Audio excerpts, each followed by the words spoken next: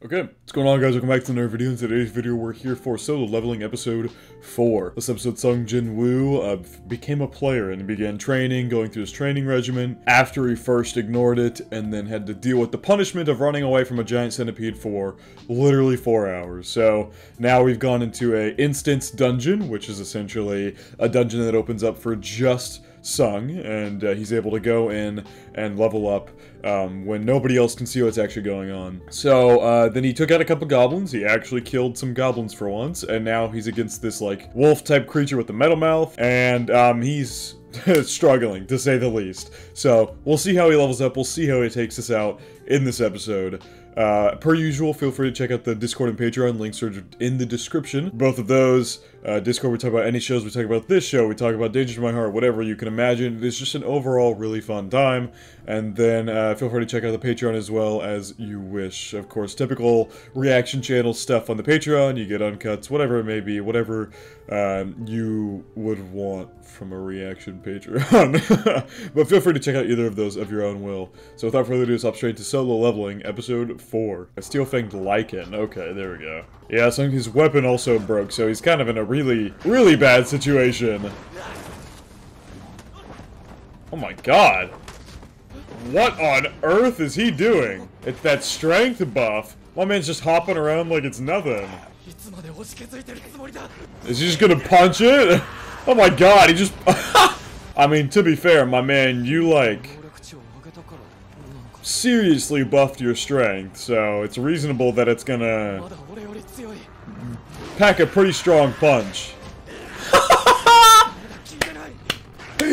my man is literally throwing hands with a wolf. He is literally throwing hands with a steel-mouthed Lycan. Yeah, I'm not exactly sure what you're supposed to do. You max your strength, but the punches still aren't taking this thing out. You could wail on it as much as you want, it's not gonna do nothing. Oh! My man's gonna pull out a sword from his inventory. What the heck? When did he get... He just now realized that he had that? Oh! I thought Kim said he paid three million for it? Yeah, wait. Oh! That's right, Kim dropped his sword. Kim literally dropped his sword when they were in the double dungeon. Uh, or whatever they called the place with the god or whatever. He dropped his sword when he sprinted and ran out. So it took that sword and put it in Sung's inventory. Wait, that's that's so cool. Now you have him. Oh. His injuries just healed. You gotta up- what? Is his strength stat not upgraded enough? Oh! What, they're like dodging him?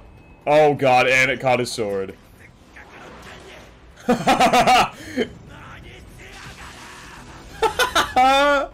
Wait, that's actually so cool. Screaming chew on something else to a dungeon wolf. I mean, yeah, I've... To be fair, fighting anything other than that god, I feel like is going to be naturally a tad bit easier. oh, it's running away. Interesting. That's not like a game at all. Because typically in a game, once they aggro on you, you have to fight them, or it's either you fight them, or you run away. But that one just ran away from him. Ah. So every time he levels up, it heals him. Probably a lot. Yeah, you're doing all those crazy flips earlier.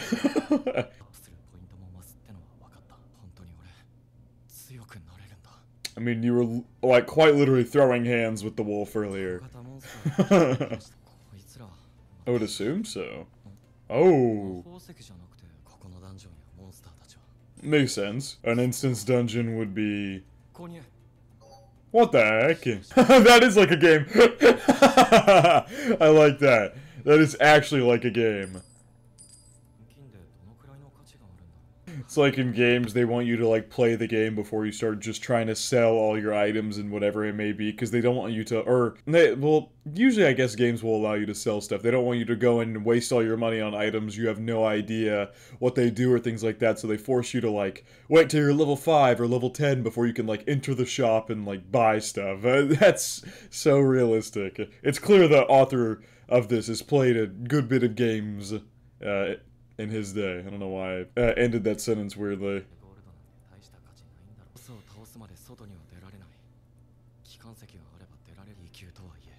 Okay, you'll just have to level up until you can.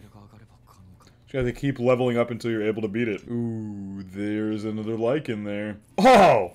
Oh my god, are we serious? What the you do about that? That's at least like 20 of them there. At least. Oh, down goes one. Oh! Oh my god! He is f***ing him up! Okay!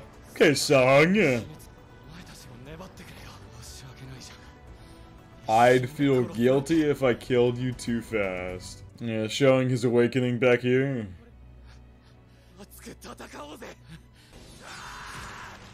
Ooh! For as long as we're alive, as hard as we can. Look at him level- oh my god, he's leveling up so much! That's at least like 10 or, 10 or more level ups. Title Wolf Assassin. Is it about to enter Dungeon Break? What was up with that? Why is it like sparking so much? Oh my god, the blood is like painted all over the walls. Oh god, I hate games like that. Even if it's realistic. Oh, did he get a teleportation stone? A title given to those skilled at hunting wolves, animal type monsters, all abilities plus 40%. Okay.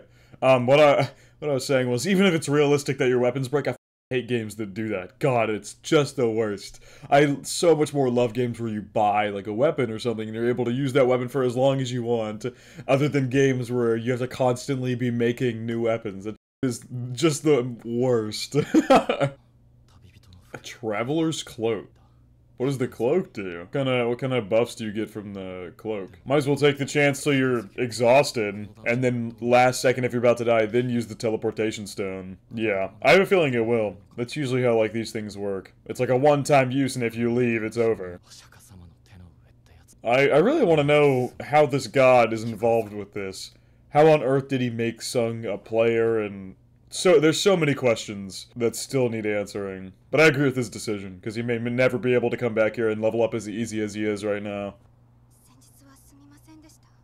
Oh yeah, we, she never um went to. Oh god. So they just let it go to a dungeon break? Why did they not send anybody in to, to handle it? That's weird.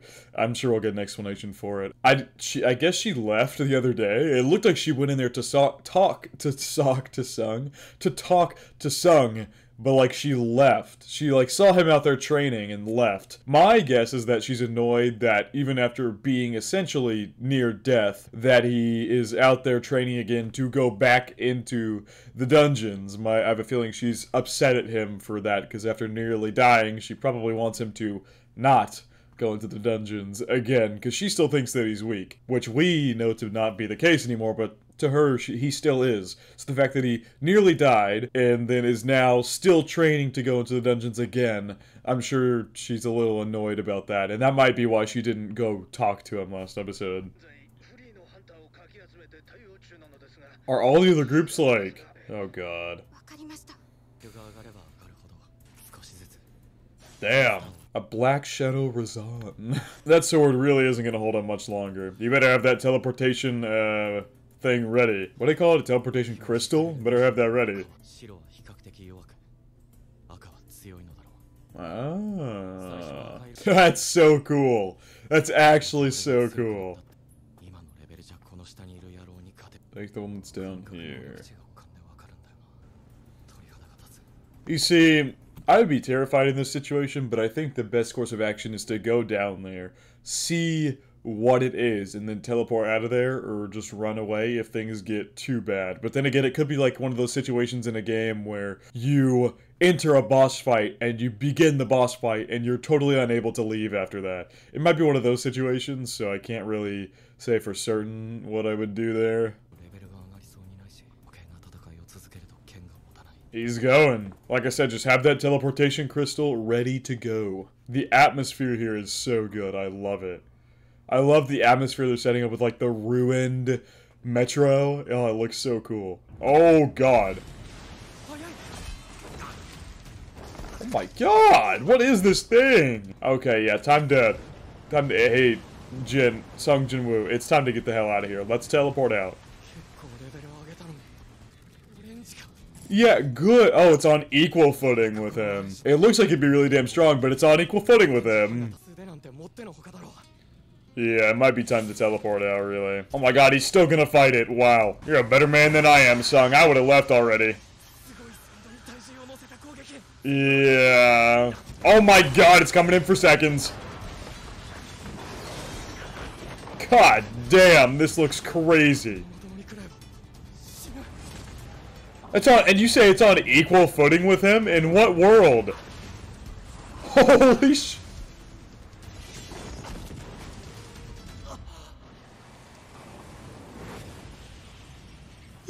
an entire train at him! Oh my god, the animation. To be fair, okay, let, us take the, let's take several things into consideration here. He said one hit and I'd be dead. That's clearly not the case. He got smacked around several times there and he's okay. Like he's like it said, he's on equal footing. One singular hit is not going to take him out despite their size difference and how strong the snake might look. The orange text signifies they're on the same level, or maybe it signifies that it's a little bit difficult for him. Uh, and then red is like this thing's way above your level. You shouldn't be fighting this right now. So it's one of those situations. But either way, one hit didn't take him out. So it is possible to kill this thing. I don't know if it's possible with the janky sword, like janky half sword he's got going on right now, but it is 1000% possible to take this thing out. Like it, wouldn't say they're on equal footing if it wasn't possible for him to take it out. You got those healing potions ready? I don't like all this dust. My god. This beast looks so cool. Don't end the episode there. Oh.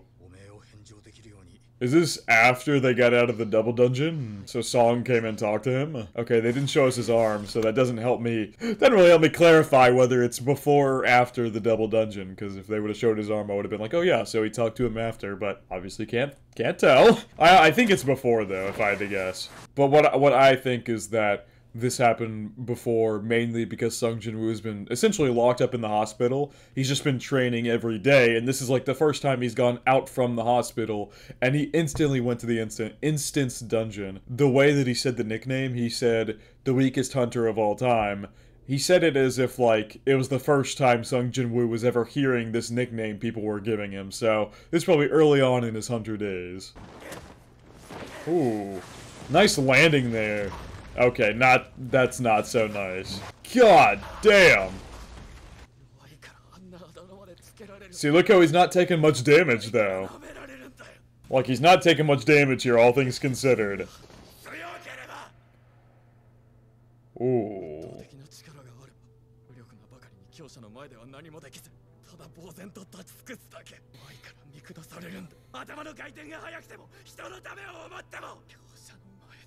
But when faced with the strong, none of it will save you. Woo! I love this. His voice actor is killing it. Like, actually killing it. I love I I also love the bareness of that speech there. No like if I'm if I'm like all these things then maybe I can become stronger. It's like no. Kindness and all of those other attributes mean nothing when you're faced with somebody who's stronger than you. All you can do is quiver in fear and grovel at their feet. So what do you gotta do? You gotta become the strongest. I really like that. Whoa! Whoa! What'd he just do? Oh my god.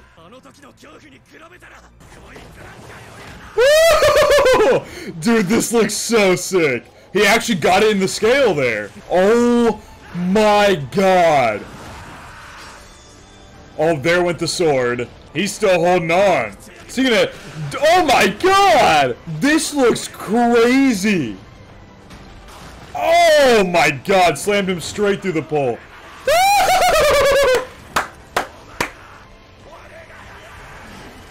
Holy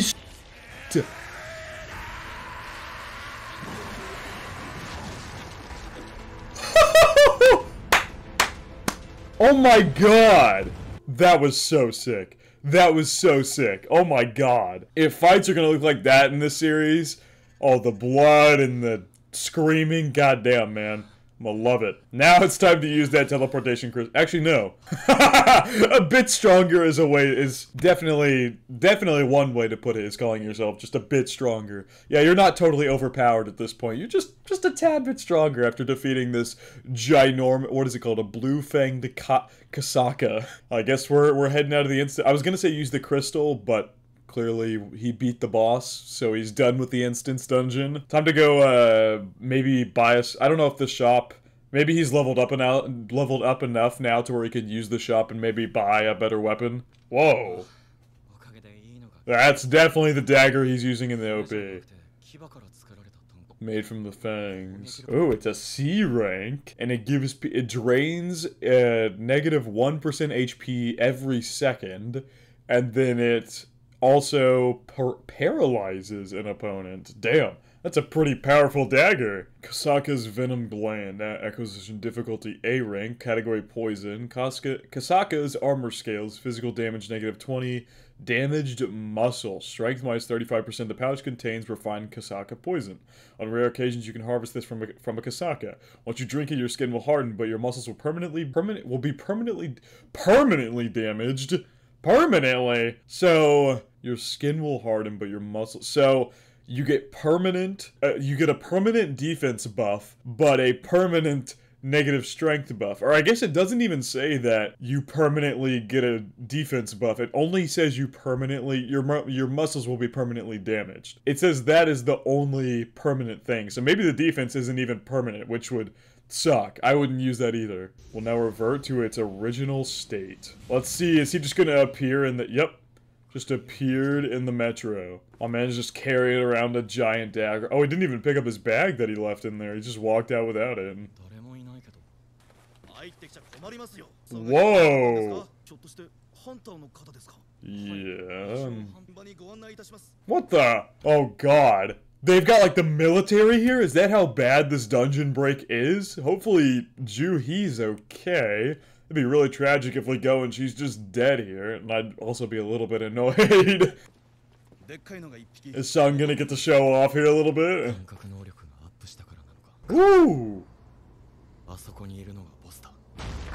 Oh my god. I think he's fighting this thing in the opening, is he not? Bro, these this is this is too realistic though. That's actually too realistic. It's so unbelievably stupid that they're here with this giant beast taking pictures of it, but it's so realistic. That is so realistic, it's hilarious. You know damn well if there's a giant beast like this in the middle of a city, there's gonna be some absolute dumbass. Like, at this point, people are acclimated to the fact that dungeon breaks are gonna happen. People are acclimated to that. These things have been around for 10 years now, these dungeons. Dungeon breaks have happened many times before, so people are used to it at this point. They're used to the hunters going in to handle it and take care of it. So at this point, they feel protected by the hunters, so they go out and like start taking pictures of it. That's too realistic.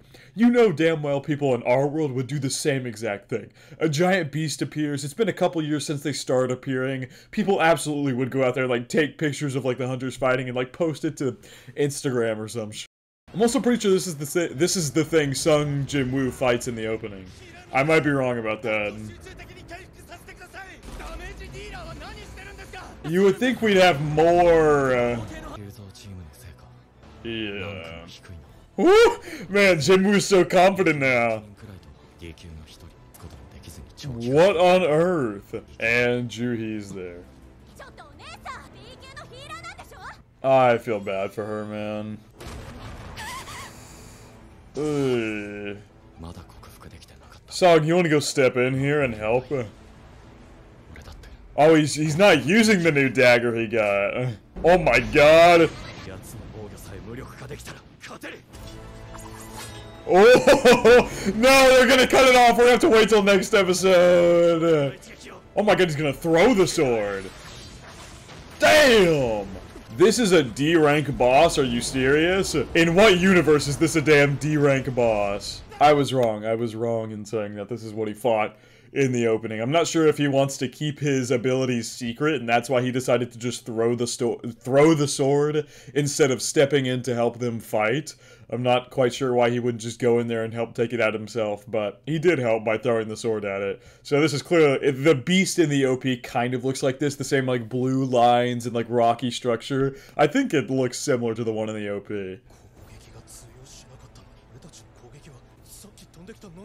Just a good old dagger. Wait, they didn't even kill it? Are you serious? They didn't actually kill it? Sung Jin Woo's dagger killed it? He threw the dagger at it, it hit in the forehead, and it died from that? I thought they, like, started wailing on it after that and took it out with a bunch of other attacks, but no. From what that guy just said there, it's a boss level golem that over 10 people couldn't scratch got taken down by that. Which clearly means that that dagger, this newly made dagger, it was a sword, it's essentially a dagger now, that Sungjin Woo threw at it, knocked it in the forehead, and took it out. And he's gone. He is an E rank. Oh my god. How much more did he put into strength points? Or you have just leveled up that much. Ooh. Damn, she almost saw him. He was just a little too far away. Good ass episode. That was really good. That was I really, really liked the second episode, but I think this is my favorite episode so far. Like the speech about how um, kindness and all these other attributes won't get you anywhere. It's strength that matters, because no matter what, you'll always have to grovel and be in fear of the strong ones. And just the voice acting was so phenomenal from from Sung Jin Woo's voice actor. Like he is a really damn good voice actor. And then the fight animation in this episode was utterly gorgeous. Just overall, I think all encompassing, this is probably my favorite episode. I really, really liked episode two as well, but all encompassing, I think I got to give it to this one to be my favorite of the series so far. He has leveled up tremendously after this one fight with the Kasaka. So overall, fantastic episode. I really don't have much to say in terms of like analyzation wise. I don't think there wasn't much to there wasn't much to analyze this episode. He fought a bunch of creatures and leveled up as you would in a game. So there's not much to talk about right now. Uh, so I think that is going to wrap up my reaction to Solo Leveling episode four. Hope you guys did enjoy, and I hope you all have a good day.